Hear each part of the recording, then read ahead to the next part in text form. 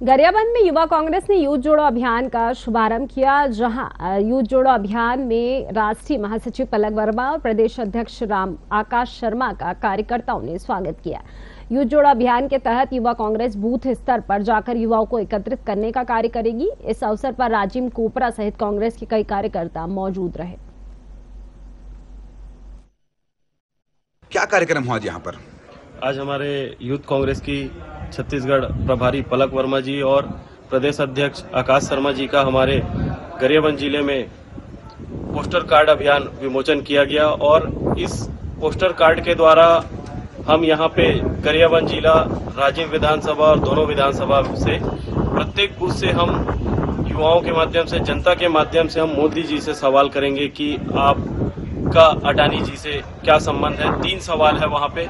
अडानी जी से आपका क्या रिश्ता है और आपको कैसे इतने बेनिफिट मिल रहे हैं कि आप 200 स्थान से आप आठवें स्थान तक इन आठ सालों में कैसे पहुँच गए? इन सवालों को हम पत्र के माध्यम से मोदी जी से हम पूछेंगे। सफ़र बढ़िया है। जब पहली बार मैं यहाँ आई थी, मुझे इस प्रदेश के बारे में बहुत सारी जानकारी नहीं थी। परंतु आज मैं खुश हूँ कि मैं छत्तीसगढ़ यूथ कांग्रेस की प्रभारी हूँ।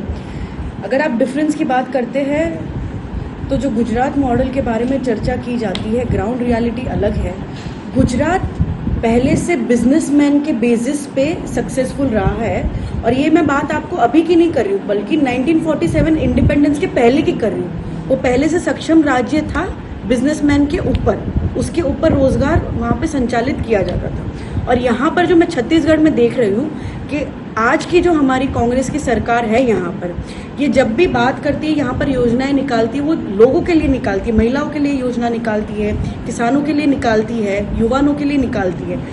बूथ स्तर से युवाओं को जोड़ना और आने वाले विधानसभा के चुनाव को तैयारी को देखते हुए हर बूथ में जितने युवा हैं उनको जोड़ने का लक्ष्य विद आई ऐप के माध्यम से छत्तीसगढ़ कांग्रेस से रखा है। हम विधानसभा स्तर में, ब्लॉक स्तर में विधानसभा में जा रहे हैं और हमारे पदाधिकारी बूथ स्तर से युवाओं को जोड़ रहे हैं। आज यहाँ पोस्ट कार्ड को लेकर के क्या कर देश में क्वालिफाइड सांसद को डिस्कालीफाइड किया गया है। ऐसा क्वालिफाइड सांसद हमारे नेता राहुल गांधी जी जो नरेंद्र मोदी जी को आईने दिखाने का काम करते हैं। ऐसे सांसद को आज डिस्कालीफाइड किया। उसी के विरोध में यूथ कांग्रेस जो है जनता के बीच जाकर मोदी जी जवाब जो कैंपेन चला रही है इसे पोस्ट कार्ड के माध्यम से हम गौतम अडानी के ऊपर प्रधानमंत्री जी से तीन सवाल पूछ रहे हैं। क्या कार्यक्रम हुआ आज यहाँ पर?